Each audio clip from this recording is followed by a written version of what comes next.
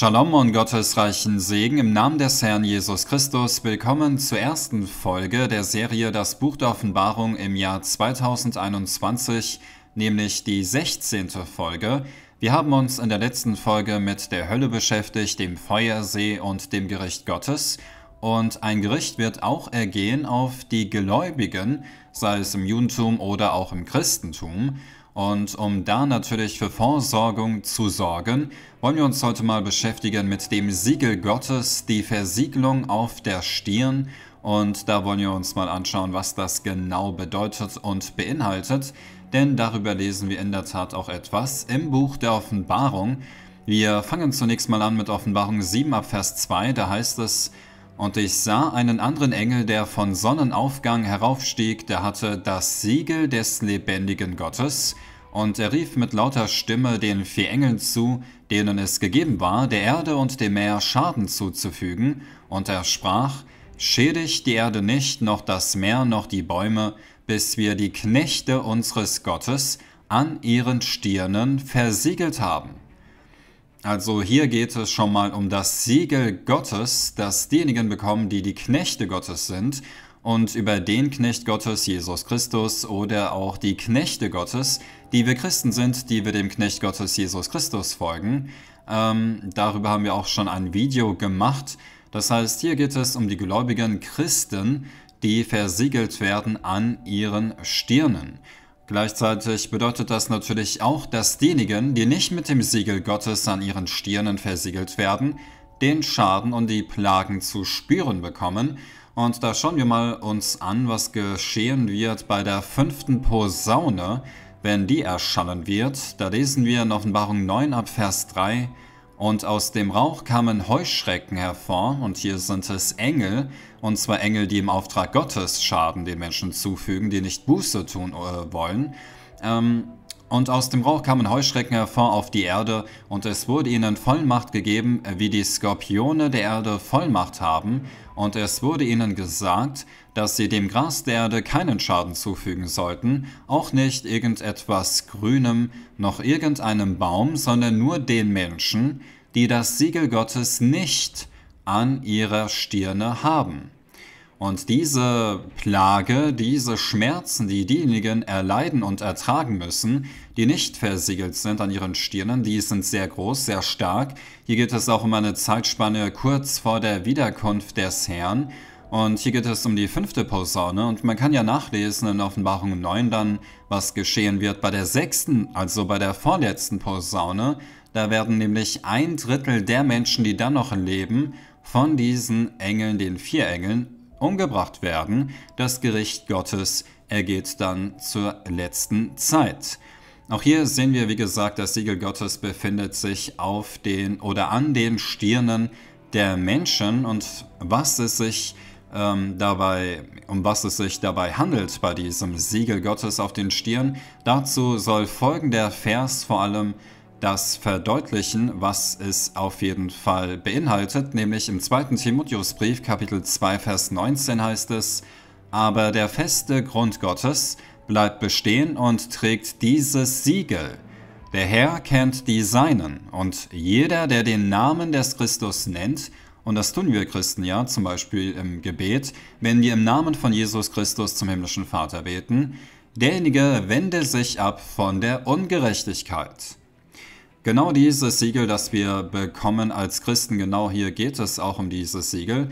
Und dazu wollen wir uns das, diesen Vers mal kurz auseinandernehmen. Dieses Siegel ist also, da geht es um diejenigen, die der Herr kennt. Und deswegen schauen wir uns mal an, was ein Merkzeichen dessen ist, dass der Herr uns kennt, indem wir uns mal anschauen, was Jesus über diejenigen sagte, das Merkzeichen derjenigen, die Jesus nicht kennt. In Matthäus 7 Vers 21 sagte Jesus über Christen, Nicht jeder, der zu mir sagt, Herr, Herr, wird in das Reich der Himmel eingehen, sondern wer den Willen meines Vaters im Himmel tut. Hier geht es also nicht um Glauben, sondern um Werke. Man soll den Willen des Vaters tun. Ein Tu-Wort. Viele werden an jenem Tag zu mir sagen, Herr, Herr, und dann werde ich ihnen bezeugen, ich habe euch nie gekannt, weicht von mir, ihr Gesetzlosen. Diejenigen, die das Siegel haben, laut 2. Timotheusbrief, die kennen oder die kennt Jesus Christus, es sind die Seinen. Und wenn diejenigen, die Jesus nicht kennt, als Gesetzlose bezeichnet werden, dann aus dem Grund, weil sie Gesetzlosigkeit lehren und tun, während diejenigen, die Jesus kennt, also das Gegenteil bei diesen Knechten Gottes der Fall sein muss. Sie sind nämlich gerecht, weil sie die Gesetzlosigkeit kritisieren und die Gerechtigkeit lehren und tun. Denn wir lesen noch im 1. Johannesbrief Kapitel 2 Vers 4, wer sagt, ich habe ihn erkannt und hält doch seine Gebote nicht, der ist ein Lügner und in einem solchen ist die Wahrheit nicht. Und genau dazu schauen wir uns auch weiter an den nächsten ähm, ja, Versabschnitt, nämlich dieses Siegel, jeder, der den Namen des Christus nennt, also wir Christen, wende sich ab von der Ungerechtigkeit. Und wir haben ja gesehen, Gesetzlosigkeit, das hat mit dem zu tun, dass Jesus einen kennt oder eben auch nicht. Also genau dasselbe auch im unteren Teil des Verses. Man soll sich abwenden von der Ungerechtigkeit, um das Siegel Gottes an der Stirn zu erlangen.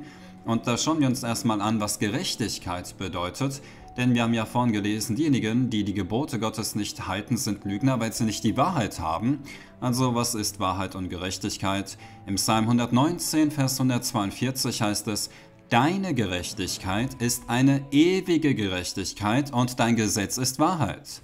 Wenn man das Gesetz ablehnt, die Gesetzlosigkeit nicht tut und nicht lehrt, also das Gesetz zu halten, weder tut noch lehrt, sondern die Gesetzlosigkeit, dann hat man die Wahrheit nicht, weil das Gesetz die Wahrheit ist.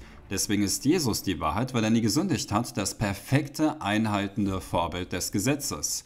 Aber um zu verdeutlichen, wovon wir uns abwenden sollen von der Ungerechtigkeit, schauen wir uns das nochmal an im ersten Johannesbrief. Da heißt es in Kapitel 5, Vers 17, jede Ungerechtigkeit ist Sünde. Und was ist Sünde? Kapitel 3, Vers 4. Die Sünde ist die Gesetzlosigkeit, also die Übertretung des Gesetzes Gottes. Das bedeutet, Sünde ist die Übertretung des Gesetzes Gottes und die Gesetzlosigkeit, die Übertretung der Gesetze Gottes, führt zu Ungerechtigkeit. Deswegen sollen wir uns abwenden von der Ungerechtigkeit hin zu den Geboten des allmächtigen Gottes, damit wir eben versiegelt werden an unseren Stirnen. Dazu schauen wir uns an auch Sprüche 15, Vers 29 und Kapitel 28, Vers 9. Da heißt es nämlich, der Herr ist fern von den Gottlosen, aber das Gebet der Gerechten erhört er. Wer sein Ohr aber abwendet vom Hören auf das Gesetz, dessen Gebet sogar ist ein Gräuel. Wer also das Gesetz gar nicht hören will, dessen Gebet ist ein Gräuel, aber das Gebet des Gerechten, der das Gesetz hört und tut, dessen Gebet wird erhört. Auch hier sehen wir den Zusammenhang in Kapitel 15 und in Kapitel 28, wenn es um das Gebet eines Gesetzlosen geht und das Gebet eines Gerechten.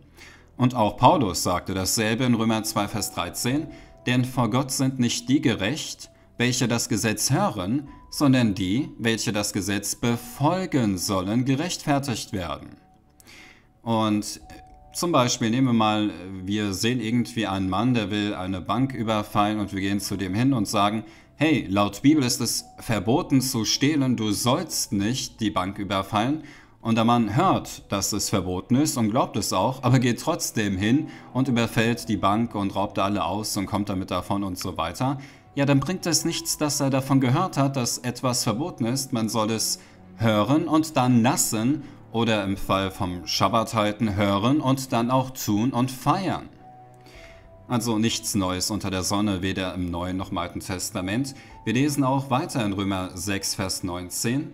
Ich muss menschlich davon reden wegen der Schwachheit eures Fleisches, denn so wie ihr einst, früher Vergangenheit, eure Glieder in, der, in den Dienst der Unreinheit und der Gesetzlosigkeit gestellt habt, zur Gesetzlosigkeit, so stellt jetzt eure Glieder in den Dienst der Gerechtigkeit zur Heiligung. Ja, früher, da wussten wir nichts von unreinen Tieren, dass sie ungesund und verboten sind, oder von den Festen Gottes, vom wöchentlichen Schabbat oder wie oder was auch immer. Da haben wir halt Sonnengötter angebetet oder irgendwelche Runengötter oder was weiß ich, Atlantis was es da für Käse im Heidentum gab. Ähm, aber jetzt, heute, wo wir wissen, was Gerechtigkeit bedeutet im Sinne der Bibel, sollen wir uns fernhalten von Unreinheiten, also von unreinen Tieren, hin zur Heiligung der Feste Gottes zum Beispiel und des Schabbats. Und auch hier sehen wir den Zusammenhang in einem Vers zwischen Gesetzlosigkeit und Gerechtigkeit. Ein Dienst führt zur Ungerechtigkeit und ein Dienst zur Gerechtigkeit. Auch in Hebräer 1, Vers 9 heißt es, Du, und da geht es um den Sohn Gottes, du hast Gerechtigkeit geliebt und Gesetzlosigkeit gehasst, weil Gesetzlosigkeit das Gegenteil von Gerechtigkeit ist.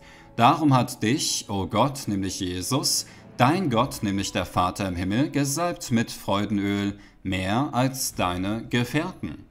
Auch im zweiten Korintherbrief, Kapitel 6, Vers 14 heißt es, Denn was haben Gerechtigkeit und Gesetzlosigkeit miteinander zu schaffen, und was hat das Licht für Gemeinschaft mit der Finsternis? Und auch in den Psalmen oder in den Sprüchen wird ja das Gesetz Gottes als ein Licht bezeichnet und die Gebote Gottes als eine Leuchte, und daran sollten wir uns orientieren, damit wir nicht in der Finsternis wandeln, der Gesetzlosigkeit, der Endzeit, sondern damit wir versiegelt werden und nicht das Malzeichen des Tieres bekommen. In der siebten Folge der Serie Das Buch der Offenbarung bin ich ja auf das Malzeichen eingegangen und das Malzeichen ist praktisch ein Anti-Siegel Gottes, weil es nämlich äh, gegeben wird unter anderem vom Antichristen, der als der Gesetzlose bezeichnet wird. Und auch der Teufel ist ein Lügner von Anfang an, weil er hat die Wahrheit nicht, das Gesetz Gottes. Er ist ein Rebell, beten wir, dass wir es nicht sind und auch nie sein werden. Wir schauen weiter und schauen uns Ezekiel Kapitel 9 an und da schauen wir uns auch an und das geht ebenfalls um, um die Endzeit. Da heißt es in Kapitel 4, und der Herr sprach zu ihm, Geh mitten durch die Stadt, mitten durch Jerusalem und mache ein Zeichen auf die Stirn der Leute, also der Menschen, die seufzen und jammern über all die Gräuel, die in ihrer Mitte verübt werden. Von denen aber, die das Zeichen tragen, rührt niemand an die Sünde des Hauses Israel und Juda ist überaus groß, also die Gesetzlosigkeit, die Ungerechtigkeit, das Land ist voll Blut und die Stadt voll Unrecht. Die Tora ist die Anweisung das Recht Gottes, die Gesetzlosigkeit führt zu Unrecht und Ungerechtigkeit, und hier sehen wir, dass ebenfalls die Menschen ein Zeichen auf die Stirn bekommen, nämlich das Siegel Gottes, wenn die Menschen eben Buße tun, umkehren von ihren ungerechten Wegen und gesetzlosen Wegen. Und wir sehen hier, dass diese Menschen auch seufzen und jammern über all die Gräuel, über all diese Dinge, die geschehen. Auch die Heiden können natürlich, die jetzt nicht an den Gott der Bibel glauben, ähm, jammern und seufzen über Morde und Kriege, was da geschieht und Ungerechtigkeiten. Aber für uns Christen ist es, da gehört eben noch was anderes dazu. Zum Beispiel, wenn eben jemand den Schabbat als abgeschafft betrachtet. Das ist ebenfalls etwas, wo wir ähm, seufzen oder wenn jemand ein Osterei sucht oder Schweinekotelett isst.